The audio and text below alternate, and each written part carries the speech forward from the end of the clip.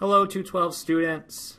Uh, we're going to show you the select by location tool that will help you at the end of your project with the roads uh, criteria.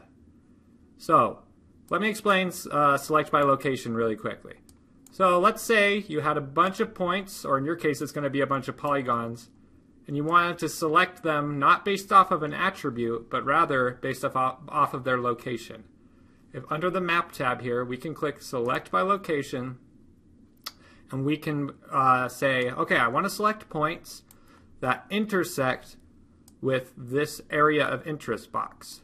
So what this is going to do is it's going to select all of the points that are within the box. See how they all turn teal there? Do note that this doesn't create a new layer. It's a temporary selection, okay?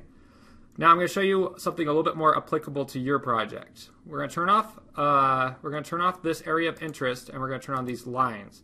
So you can kind of uh, imagine these lines as perhaps your roads and you want to select all of the locations that are within a certain distance of the roads. So we're going to have the points be the input feature again. The selecting feature is going to be the lines, or the roads in your case.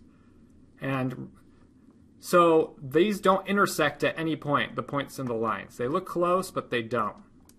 But you can add a distance that it will say if it's within this distance, it will select them. Let me show you.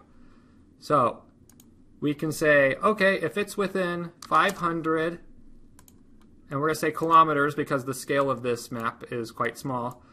Um, and we're going to run it, and it's going to select anything, any point that's within 500 kilometers of this line, and all those points were selected. See?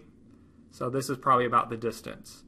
Okay, so like I said, this has not actually created a new layer. In order to create a new layer now, you're going to have to right click on it, go to data, go to export features, and then just type a name.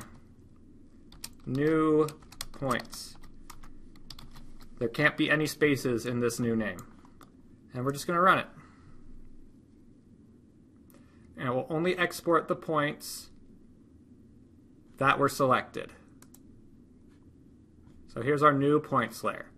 So that is how you're going to use select by location to find out which areas are within a safe distance from your road.